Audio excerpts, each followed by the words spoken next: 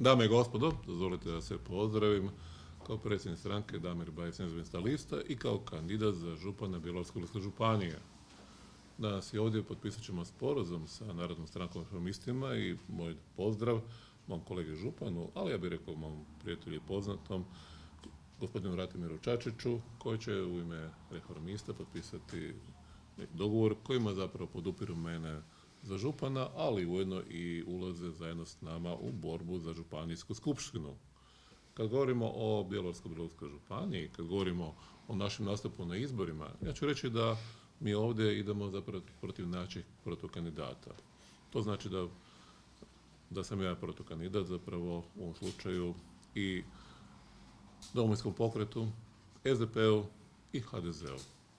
Slažem se to stranke, naj, tri najjače zapravo skoro u Hrvatskoj, ali svejedno. Ja vjerujem da na ovakav način, okupljanjem u jednom zajedništvu velikog broja stranaka možemo zapravo biti alternativa i pobjednici u županijskim izborima.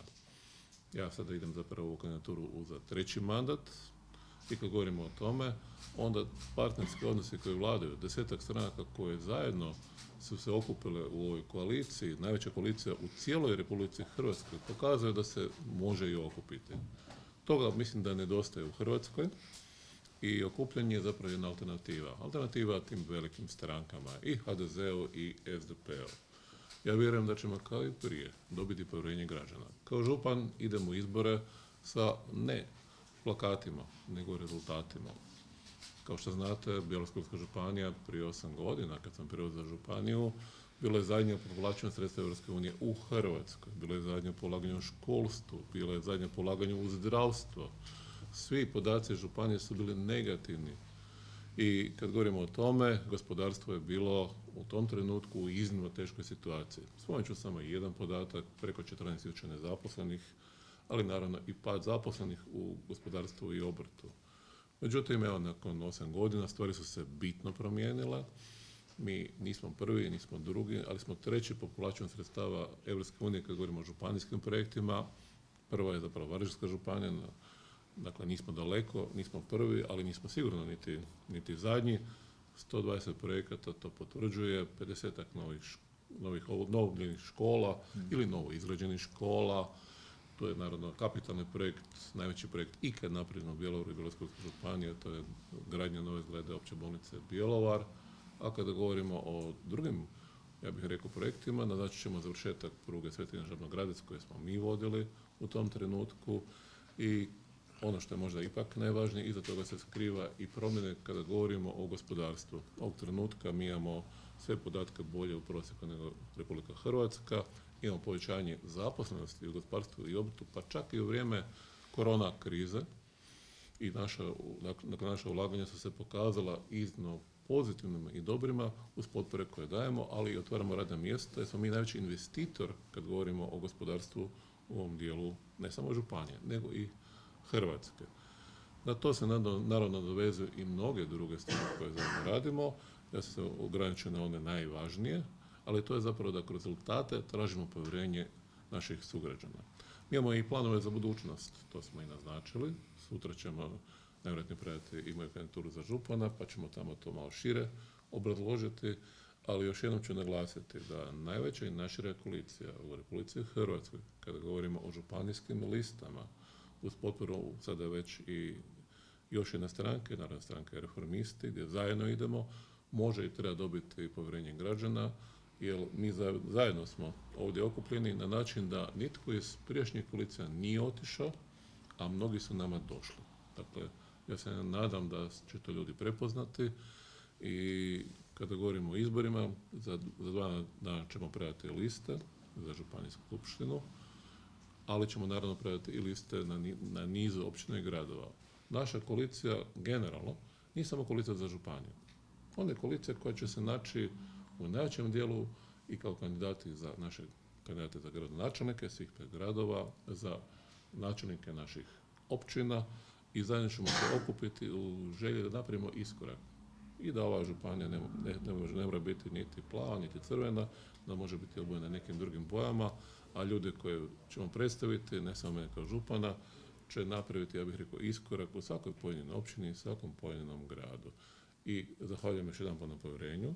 Zahvaljujem, ja bih rekao, na činjenica smo danas ovdje i vjerujem da zajedno možemo kratko dobiti izbore, da, da završim s onim s čime sam krenuo, a to znači ne plakatima, mi nemamo novaca kao naši konkurenti, nego rezultatima onoga što smo napravili, a brojke je vezano uz činjenicu tih 120 projekata unije koje smo mi dobili i povukli, činjenica da imamo 50 škola koje su u obnovi, činjenica da imamo najveće objekte u Hrvatskoj, uključujući novu zgradu opće bolnice Bjelovar, pruga koja je završena u prvom mandatu, glazbena škola, centar kompetencija i naravno taj pomak u gospodarstvu da je nam zapravo tražiti još jednom glas.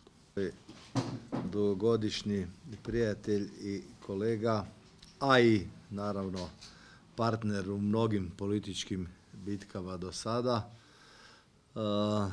gospodin Damir Bajs, da smo htjeli biti crni, bili bi crni ili tamno plavi, da smo htjeli biti crveni, bili bi crveni.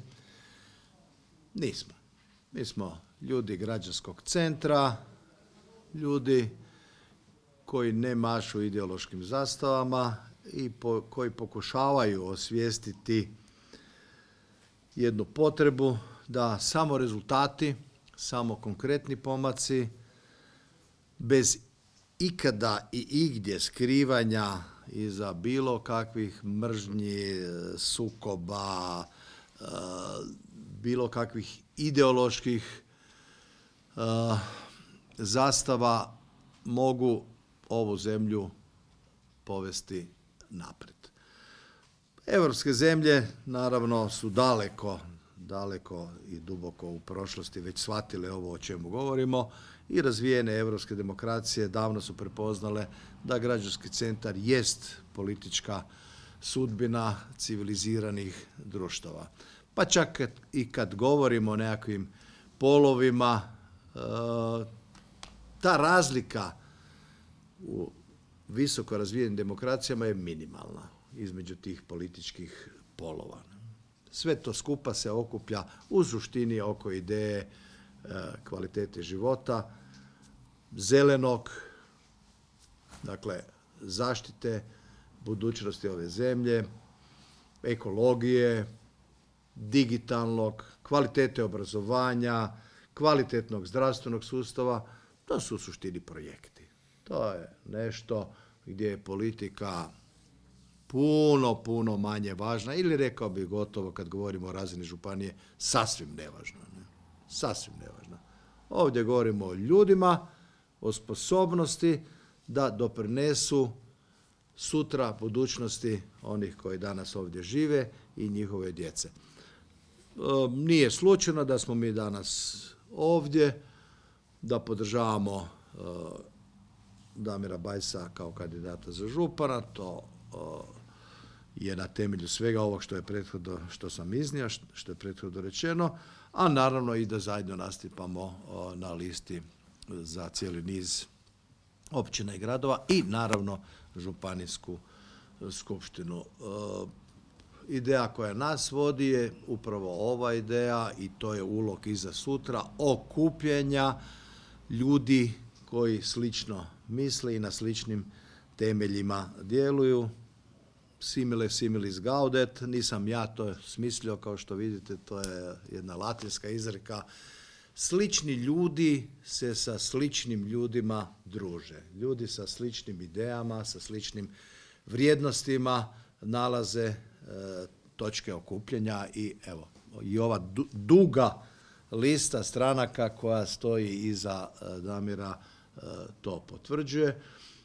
Naravno da očekujem sutra i vjerujem i nadam se zbog dobra ove zemlje da to i sutra primjenjujemo i na parlamentarnim izborima i na svim onim izborima koje nas čekaju. A obzirom da sam još tak mlad i tek u, ovoga, u počecima svoje političke karijere, nadam se da ćemo Damir i ja imati prilike surađivati i u tim godinama koje su pred nama. Hvala vam lijepo.